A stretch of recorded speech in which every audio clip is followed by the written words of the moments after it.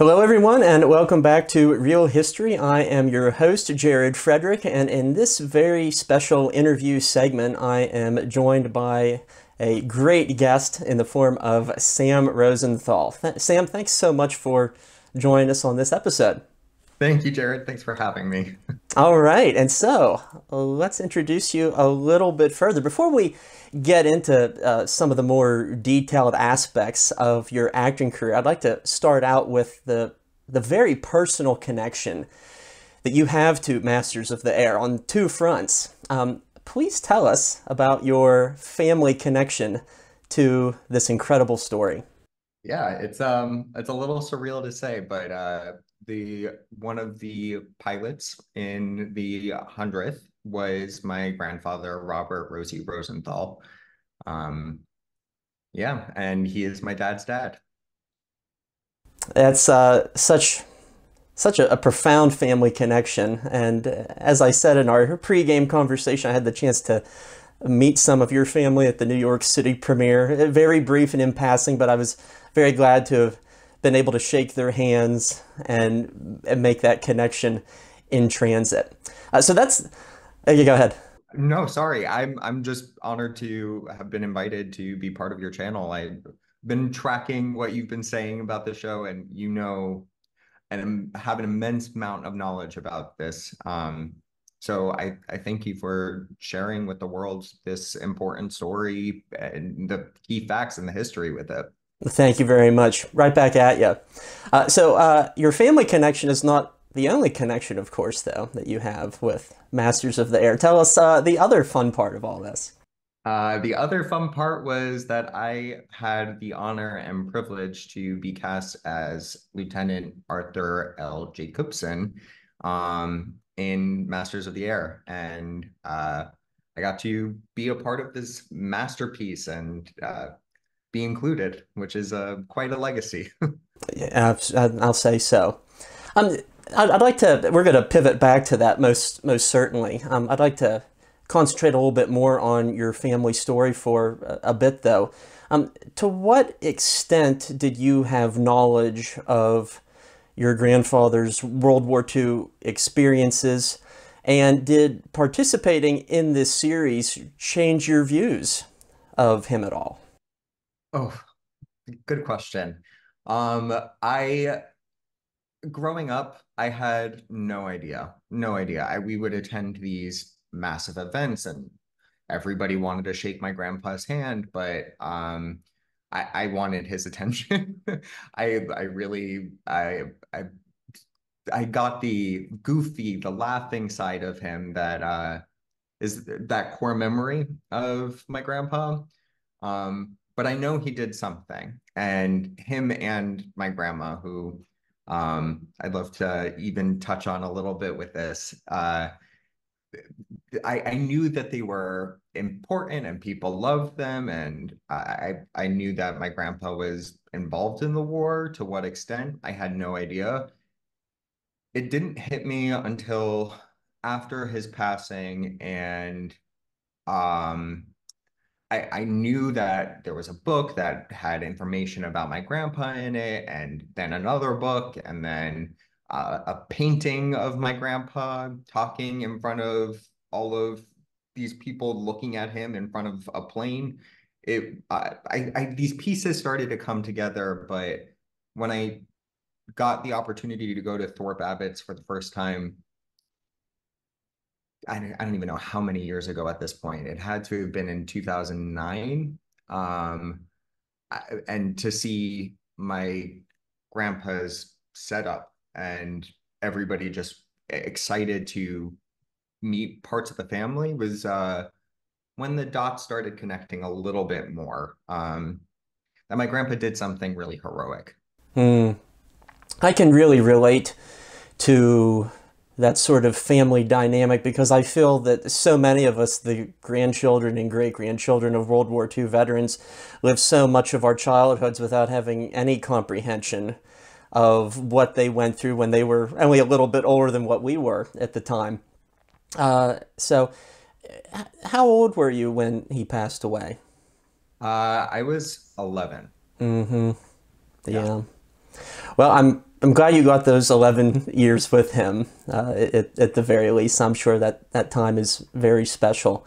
Oh, I have a I have a good story. Quick, it's quick. Please do. We uh we were hosting. My family was hosting a Passover dinner, and my mom insisted that we get flowers. So my grandpa volunteered, and we took a quick ride to get the flowers. But I just there was one thing I was good at it as a kid, and it was talking a lot, and I talked a lot. and the entire time, I think my grandpa only said mm-hmm and okay, yes, uh-huh. We got back to the house afterwards. He said to my dad, This kid is a talker. I barely said anything. He's either going to be a great lawyer or a great actor one day. uh, his uh, his wisdom pulled through once again. Do you have any uh, film footage of of your grandfather? When was the last time you heard his voice? Um, I mean, we have like VHS recordings of him. Um, there was a little clip of uh, my grandma was at my uh, bar mitzvah, but um, there was a little clip of him in my montage, and that's probably the last time I like at any time I rewatch that is mm. the last time I really heard him speak. And then in the process of the development of Masters, uh, once that got picked up and it started really happening, um, is when I started to get more familiar with my grandpa's voice and those his timing, his cadence, everything just started to come back together. Yeah, you're you're very lucky to to have footage like that. I'd give anything to have something like that with my grandfathers about their experiences. And uh, I just uh, a few days ago, I found a an interview that your grandfather did probably 30 years ago, um, that I'll be sure to uh, share with you if you haven't seen it before. Absolutely. I uh I was able to take a quick look at what you I watched the video that you posted um about the third episode. Uh and I, if you have anything on my grandpa that I haven't seen, I would love to. I will happy be happy to make that connection if at all possible. Uh, so let's uh, now circle back to the series itself. How how did you come to be cast in Masters of the Air? Well, um, my family's been involved with it for give or take uh, probably give more than 11 years to the development of masters um, when it started to come up in conversation i was still a kid and i was performing in school and auditioning and i did sesame street at that point and mm-hmm. a, a few other a few other kids shows and then um I'm not sure what the leap was, but when it started to actually become more and more real, and my dad started to become more and more involved with as the president of the Hundredth Bomb, uh, Bomb Group Foundation yeah. and ta- uh, taking initiative with a lot of that, I, I, I, the timing kind of felt like his met, where I was graduating school and, and uh, this opportunity started to happen and then the world stopped and I finally got the call that they wanted to see a tape of me read for this role and I submitted it. Months later, COVID, and mm. then I was able to fly out and be part of one of I want to say it was six Americans that were a part of the series that um were actors, I should specify. Mm-hmm. Yeah, I'm privileged. yeah, yeah. Most uh, a lot like how uh, with the Pacific, a lot of the actors were Australian, and in this case, similar to Band of Brothers, most of them are are British. Makes perfect sense. Yeah, well, an honor indeed to represent your country and uh, in such a way, for sure.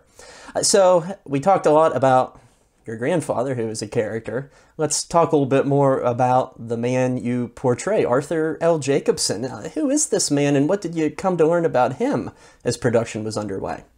Um, well, I, you know, I read Masters from cover to cover, and I, I've seen a ton of war films and interviews, and I, I got I got the general sense of these guys' age, especially being their age. I, I I had an idea of who these men or boys were.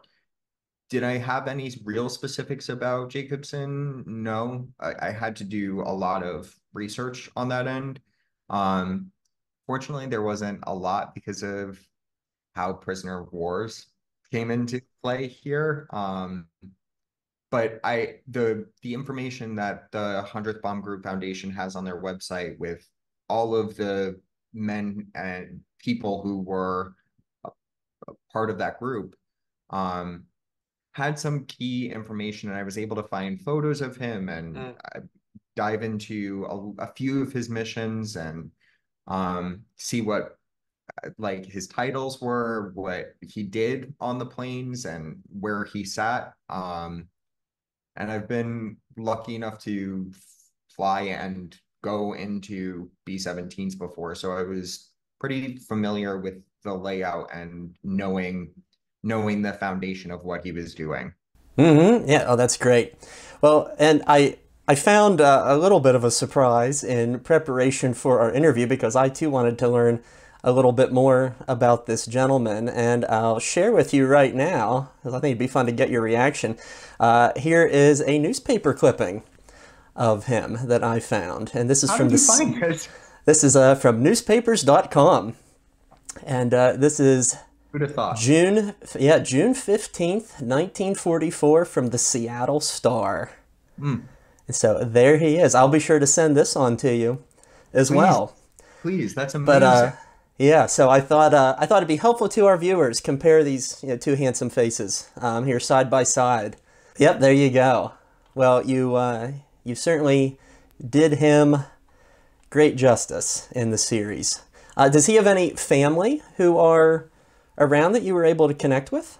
I I that was one thing that I noticed about a lot of these actors, and what I was able to do was I, I I couldn't get in contact with any of them. Unfortunately, I wish. Um, I, I the the mass uh, majority of my insight came from doing as much research as I possibly can on the the internet and yeah. trying to find obituaries or uh, even finding out what missions he was involved in um, and trying to find the comparison between that and Masters of the Air, the book, and the scripts. Mm-hmm. Well, maybe with uh, this episode of Reel History, maybe a family member of uh, Arthur Jacobson is tuning in and we can make that connection. One never knows with the magic of the internet. Please. Magic would... of the internet sometimes works in our favor. yes, absolutely. Uh, so I, I don't suspect that there were a lot of other actors who were grandsons of real life portray- people portrayed um, in the series. Um, how how how does that manner of personal connection make you feel? You've uh, touched on this a little bit. Perhaps we can elaborate on it uh, a little bit further. Yeah, um, it's it, it's very surreal. Like I say, keep saying, um, especially after having the opportunity to see myself and also meet and work with Nate, uh, Nate Mann.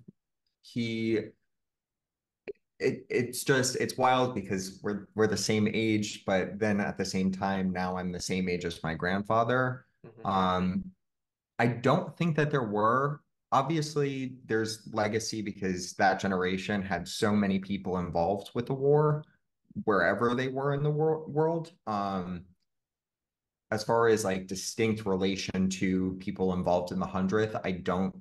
I think I'm maybe the only one involved in the making of Masters of the Air, let alone just being an actor. Um, and yeah, it felt like perfect timing and the way that the everything the pieces came came together. I don't know if that totally makes sense, but it was very a wild and very surreal moment where I could just constantly say thank you to my grandfather for making this giving me this opportunity but also for everything that he's done yeah and I understand too that you and your family uh, traveled to the UK a few years ago to help with the dedication of an aircraft that was named after your grandfather's Rosie's Riveters. Uh, what was that like? And did, did that get you in the mood further for this film? Um, did, did that bring about further revelations? So going over to Mildenhall, um, which was the, the the Air Force base, um, and it was very wild. It felt very official. Um, I've never been in a a base like that before where it's in full action and there are all these people um, that know who my grandpa was. Mm. Uh, I've been to these reunions before and I hear the stories, I've seen the stories, but actually getting to Mildenhall and meeting these people and shaking their hand and thanking them for their service and then seeing a, a, an auditorium dedicated to my grandpa and uh, then finding out that there's nose art that is has my grandfather's portrait um, was a a dream come true in a sense that I I might not have the same courage or charisma that my grandpa had, but to be able to carry on his legacy was especially in a place of such importance was it, it's it's a core memory that stays close to my heart. That's wonderful. We've talked a little bit about some of the research uh, that you've done. I'd, I'd, like to delve into a little bit more of some of the additional preparation that you did for the role. And, you know, anything's on the table here. Did you do any boot camp, any sort of specialized training? And I think uh, even greater interest, how did you and your family help Nate Mann portray this person who you knew and loved so well? Yeah.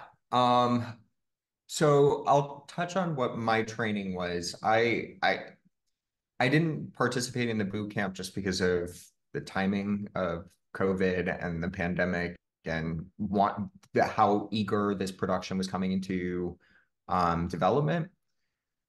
But uh, while I was back in New York and just training consistently and getting my mind ready, watching as many war films and series mm. that I possibly can, learning the dialect even.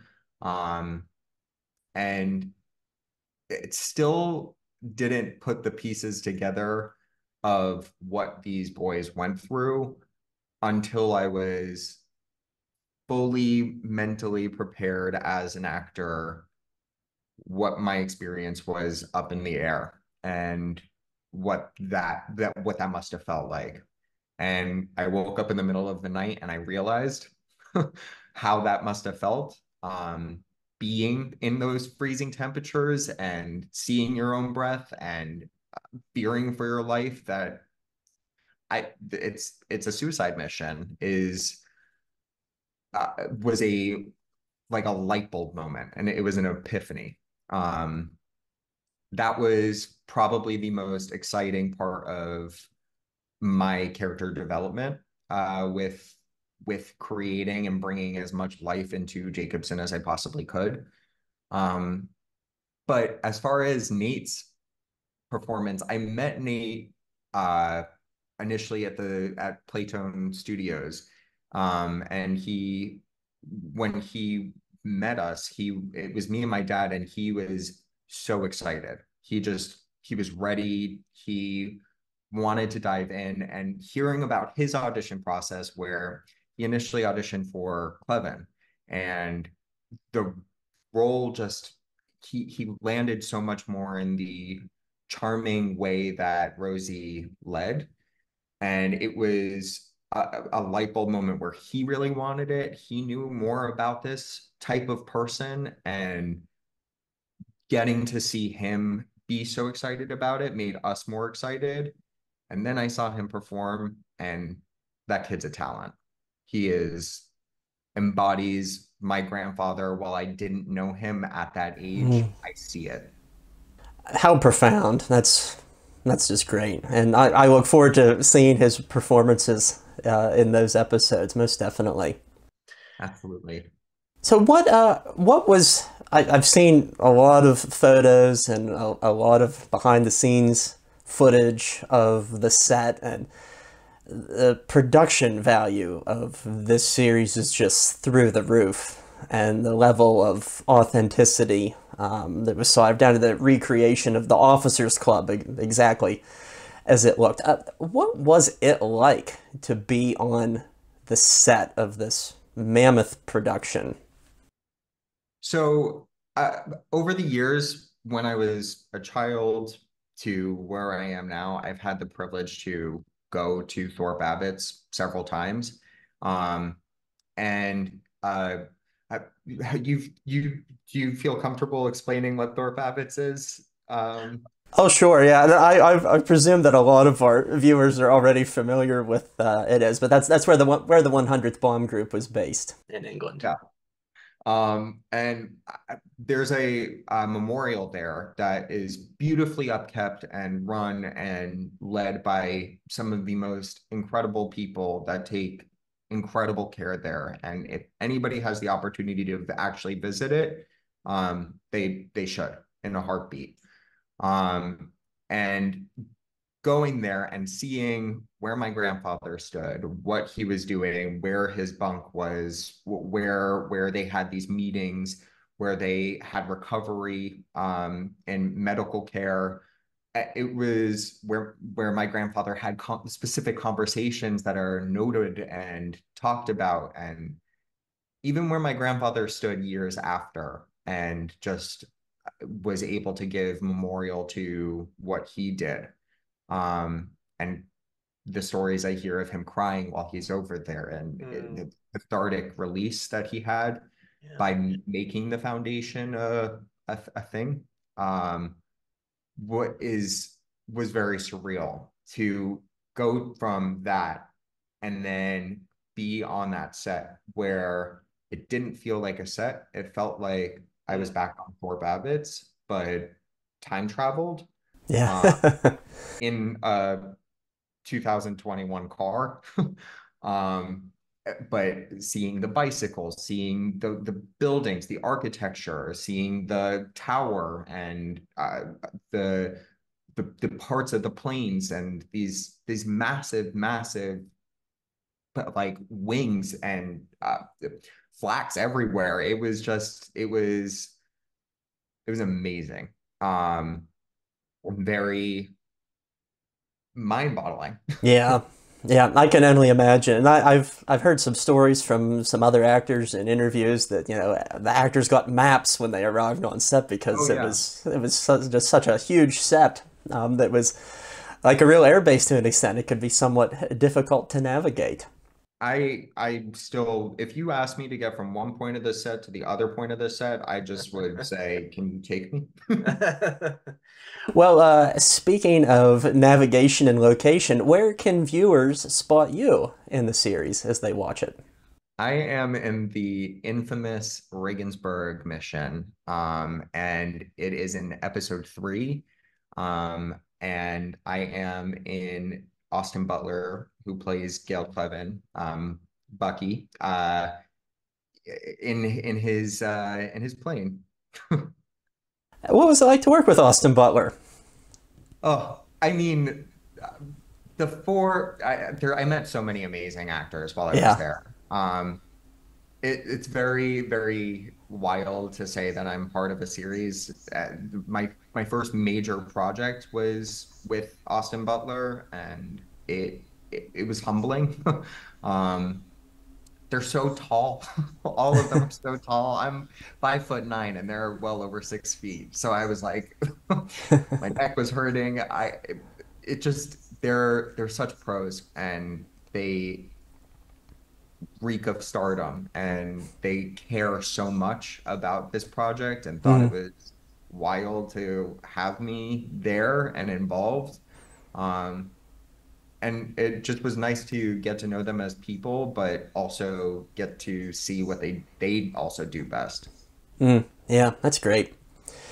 And you you're in episode three and i was just astounded by episode three. Uh, it was uh, intellectually insightful and emotionally fatiguing, I think is the best way to put it. Uh, and Uh, what what a privilege to for you to be in such a, a hallmark piece of television. Uh, that's I, I, I can't imagine uh, how how proud you must be of your work in it. It's, it's a it's a dream come true, and I Yeah, give a nod to Playtone, um, John Orloff, and uh, Apple for letting me be a part of this um, masterpiece. I I yeah, can definitely say that. yeah. And uh, an additional hat tip to Apple for helping to facilitate this great conversation Yes, that we're having right now. Uh, so you uh, you had mentioned that you revisited a lot of war films and and perhaps some classics of the genre. Um, what were some movies that you did watch, and what is your your favorite war film other than Masters of the Air, of course? I might be a little biased with this. Yeah. Um, I don't know. I there's so many movies. Uh, I I lived in the realm of Band of Brothers for so long, um, just because it's it is one of those greats, and there isn't a single flaw with that series. Um, also, I wanted to see how they made it and put it together, and it's the one of the greatest production companies that I've I'm lucky to be associated with. Um, that that story in particular was really impactful to my perspective of war films and television and how it's depicted. Um, but I'm gonna have to say Saving Private Ryan, which was the hmm launching point for all of it. Yeah. Uh, that I mean, that opening sequence, you hear it time and time again, how it can easily trigger people. But the way that film is directed, portrayed, edited, acted, every moment in that film is accurate to me. hmm Um, and really, if you don't already are, if you're not already diagnosed with anxiety, that's that's one way to get it. Mm. Yeah. Um, yeah, it's but even not just in film, but watching these guys talk about it who have suppressed their emotions and watching these uh, documentaries and hin interviews is um, also really impactful for preserving that history. Yeah, absolutely. And I think to your point, Saving Private Ryan was foundational for everything that followed, not only in the realm of cinema, but the National World War II Memorial, the Oh National yeah. World War II Museum. Uh, Hanks and Spielberg were intimately involved in all of that. It certainly speaks to the power of Hollywood, Yeah, undoubtedly. absolutely. Well, and on the point of Hollywood, as we start to wrap things up here in our conversation, uh, tell all of our viewers about your professional background, your other film projects, uh, other things that you've worked on, other things that you'd like to work on in the future. Yeah, uh, I am getting my foot in this industry, especially now that I've I I, I grew up doing theater. Um, it was my first passion, and I did a little bit of film. I, I have family that's involved in the entertainment industry, and watching animation and the Disney was a very prevalent part of my childhood. But after doing going through college and uh, getting the practical experience on television and film, I fell in love with the, that side of the industry and I've been pursuing it since. And uh, I am it's it's it's a brutal time right now for the industry, and we've been uh, through it, but we're on the other side of it, and I'm excited for what's to come. I don't know what's what's to come, but I'm I'm optimistic and uh, pressing forward. I've got wonderful representation that uh, believes in me as much as I believe in them. So yeah. Fantastic. Yeah, I suspect you have a, a bright future ahead of you in regard to acting. Thank you. Greg. Is uh before I ask you your final question, is there anything else you'd you'd like to add or anything else that comes to mind, any good anecdotes from the sets, meaningful conversations that you had or anything that we might have left out? Yeah, I um my grandfather's story is so powerful and the constant note that I hear is, can you believe what he did? And I, I think what Masters does is sets up the story of my grandfather beautifully, but he did so much more than just fly a couple of times. Um, I mean, his, his entire story of going to law school, enlisting, and wanting to fight for persecution, not just because he was a Jew, but because that's yeah. what his heart was behind. Um, to flying 52 missions and not giving up, and then seeing an ad and saying that he's going to be a prosecutor in the Nuremberg war trials, yeah. where on the way over, he was getting ready to go onto the ship and saw my grandmother. Um, 10 days later, they were married. Yep. And she was Phyllis, right? Phyllis, Phyllis. Yeah. She's, uh, it's, it's, for lack of a better term, it's a badass story. And both of them are well deserving of their acknowledgement. They both be humbled and shy and embarrassed probably by the limelight, but they are some of the most deserving people I've ever met. Yeah. And, and Nate Mann, I believe, made this very point at the New York City premiere that I, I had the chance to go to. And he said that Rosenthal's story is worthy of a movie all by itself, and uh, I think there weren't there weren't truer words spoken on that stage uh, that evening. Um, what an incredible family story and legacy. We've got to we've got to make that happen, and uh, fingers crossed that I I can I can fill those shoes one day. That'd be great. My last question for you today. Please. What was the most important thing that you learned while helping to make this series?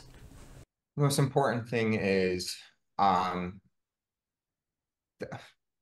while making it or where we're at right now because it's it's it's only evolved um over time i i think that timing is key and the importance of knowing what happened and what happened in our history is so prevalent and important. And one thing it taught me and instilled in me is I, I was always curious why my dad idolized my grandpa so much, but it, the dots finally made and preserving that history and getting to share his story and the story of hundreds and hundreds of men that were involved with this and women is and people even today are, are is is mind-blowing and yeah that that's that's probably the most important uh, piece of information and takeaway that I had through this experience. Yeah, no, I think it's a good answer. And as I always try to stress in the classroom, uh, history is always best delivered through the lens of the personal. And I think that Masters of the Air succeeds in that in a very big way. And it's in no small part uh, due in thanks to the likes of the Rosenthal family for carrying on the work and helping to promote that story for fellow families and also future generations. So, Sam, I, I thank you. I thank your family. I appreciate you. I appreciate the work of all within the Rosenthal family. And uh, thanks to Apple TV Plus for helping to make this interview a reality. Absolutely. And thank you. Thank you for uh, sharing the good word and doing everything that you're doing. And your insightfulness is uh, key to the world. Well, thank you. I, I try my best every day, as we must. All right. Thank you again. Thank you. Thanks for having me. That wraps up this episode of Reel History. We look forward to seeing you next time as we continue to analyze Masters of the Air and other great historical films. Take care.